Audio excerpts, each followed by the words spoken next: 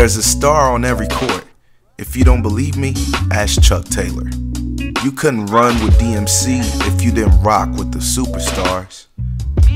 A dream truly became a reality, but don't take my word for it. A statement lives within the swoosh of the Cortez.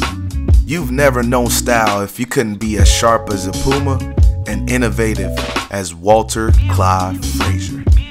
There was no better way to stay clean with a pair of classics in the white tee, and that's law. The monumental staple of iconic silhouettes was born with the Air Jordan 1.